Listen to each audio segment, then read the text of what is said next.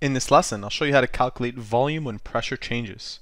Question 1 reads, When Whitney had her asthma attack, oxygen was delivered through a face mask. The gauge on a 12-liter tank of compressed oxygen reads 3,800 millimeters of mercury, mmHg.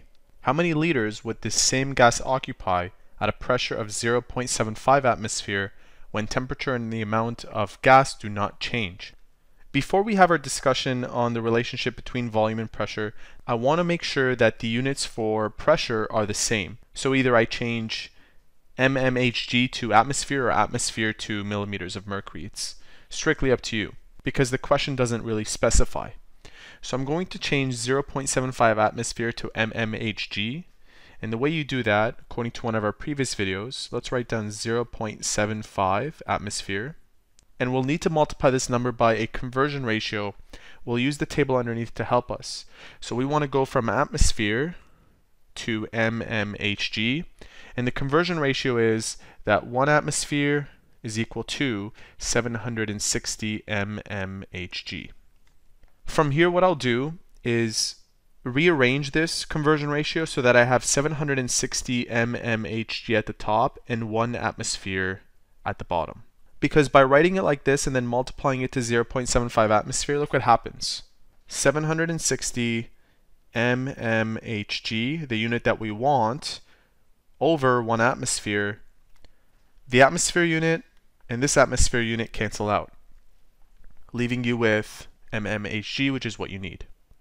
Okay, so we'll take our calculator, 0.75 times 760 and the equivalent of 0.75 to mmHg according to this calculation is 570.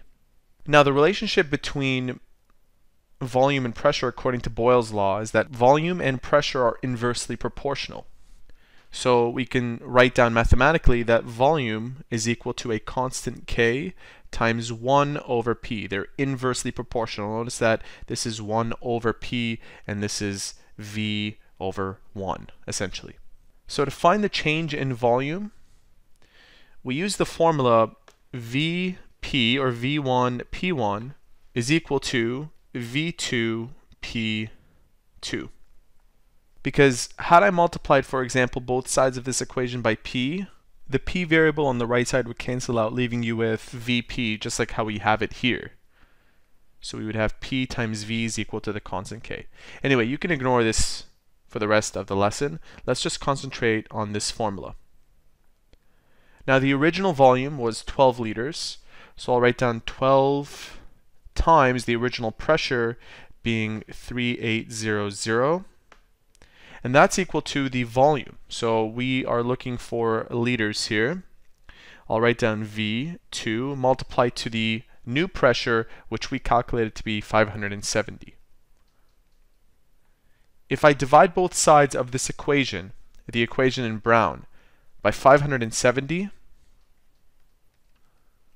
watch what happens. This number and this number will cancel out, leaving us with v sub 2. So I'll take 12 times 3800, make sure you click equals, and then we divide it by 570, and we get our brand new volume of 80 liters.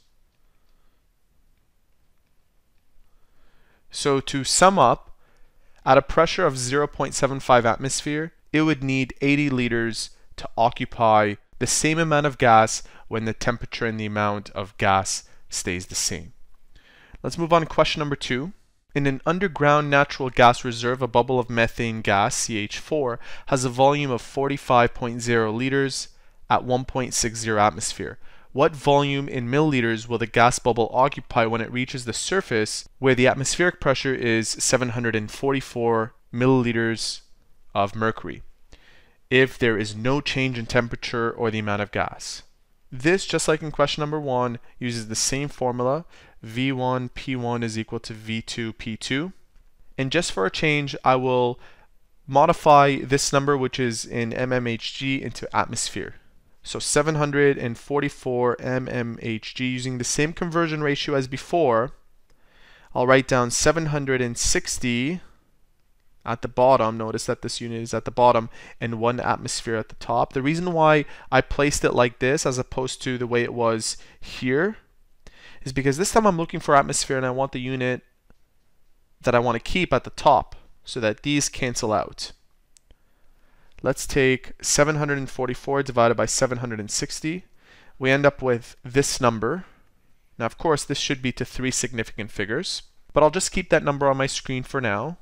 I'll write down 45.0 milliliters, and the pressure unit was 1.60 atmosphere.